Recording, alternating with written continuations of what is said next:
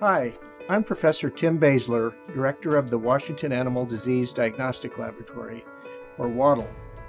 All people are affected by healthy animals, either through the food we eat, the clothing we wear, the wildlife we enjoy, or the pets that we love.